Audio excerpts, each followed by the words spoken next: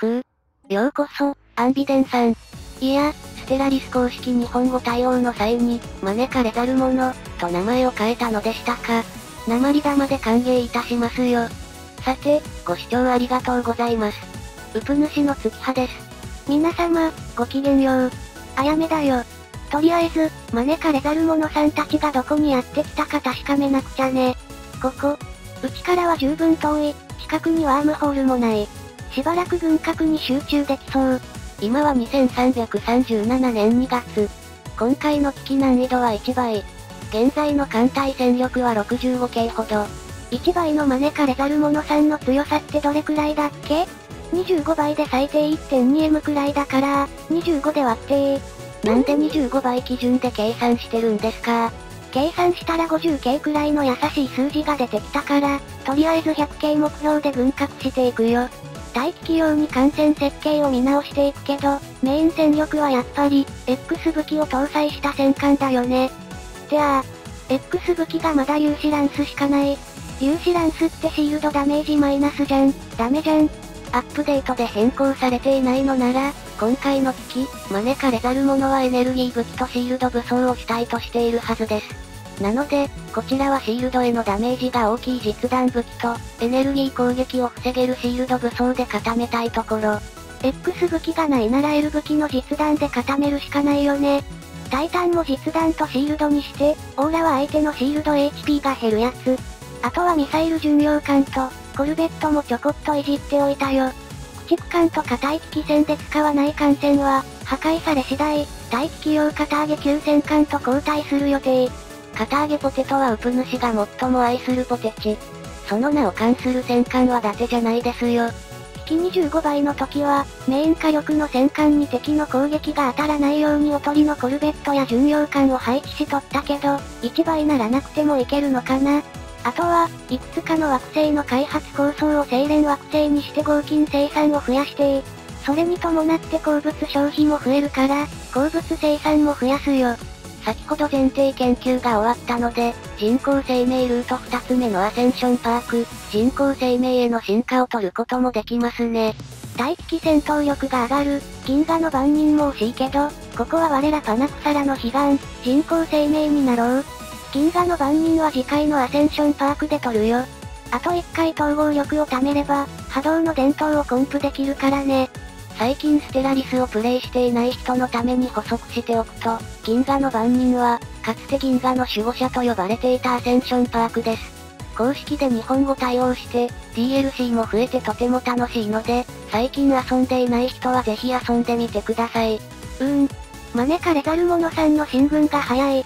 人工生命への進化をとって、すぐに研究を始めたけど何年も工学研究が止まるの辛すぎるなぁ。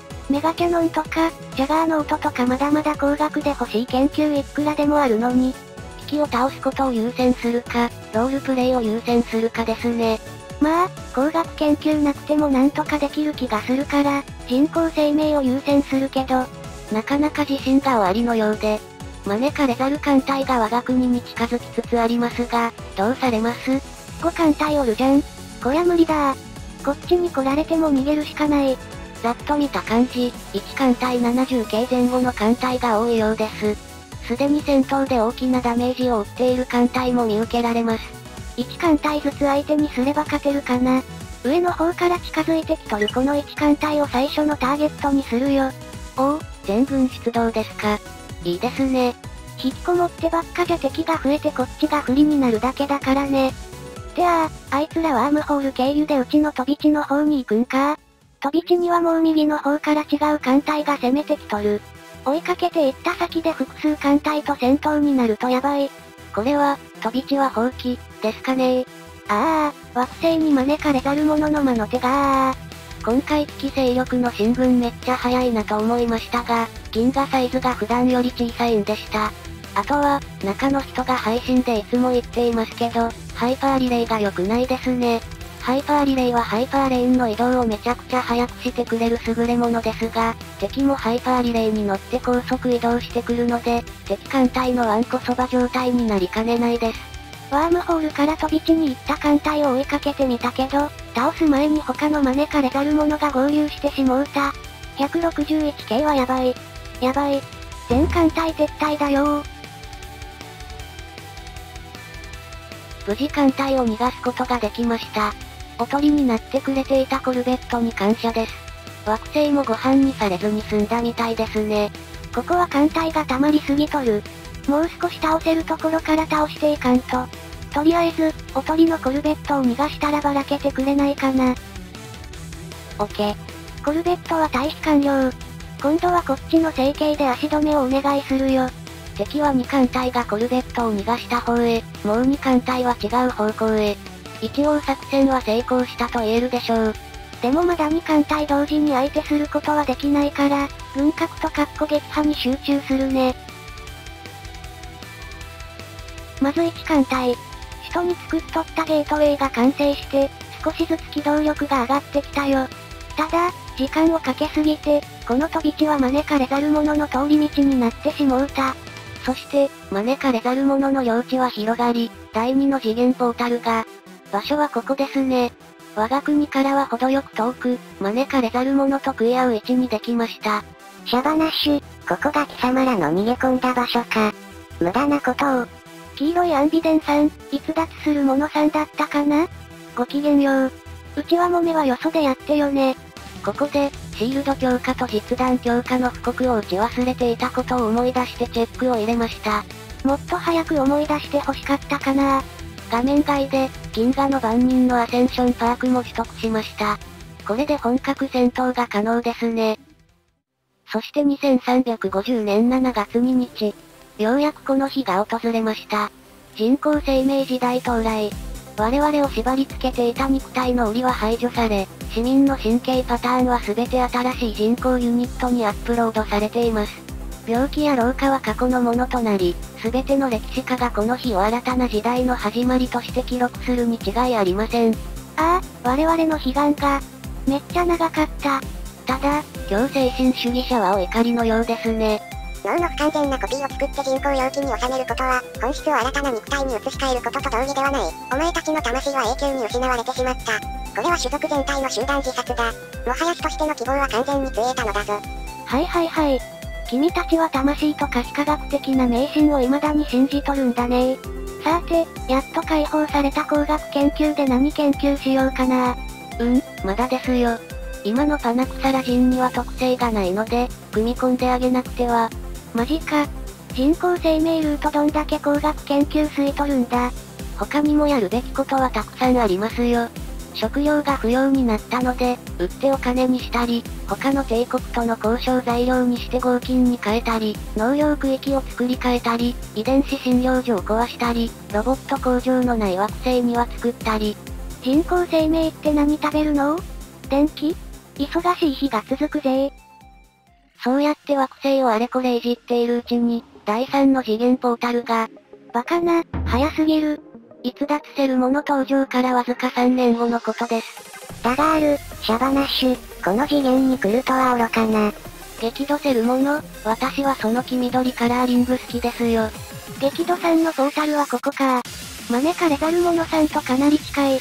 ただ、センサーがしょぼくて全然様子がわからん。セントリーアレイ欲しいなそんなことを言っていたら、連邦からお誘いが来ました。両排他主義のラーラケースが誘ってくれるとは、不思議なこともあるもんだね。物質没落ボアさんもいるみたいだし、ここは参加させてもらっとこうかな。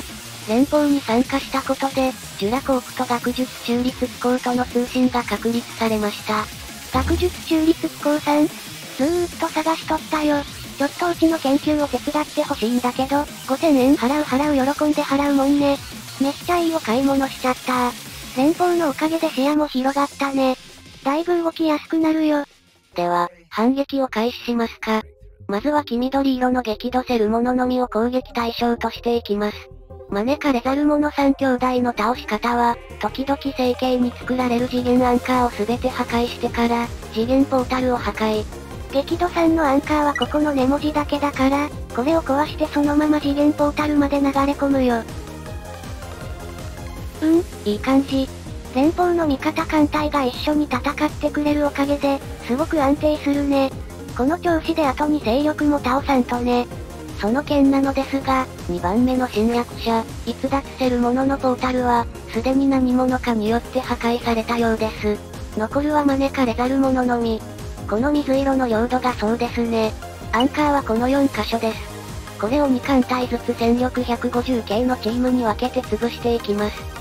敵艦隊はほとんどおらず、ただのお散歩状態なので見せ場はないです。はい、同盟艦隊ご一行様。お次の目的地は招かれざる者の次元ポータルがある成形、ヨトラですよ。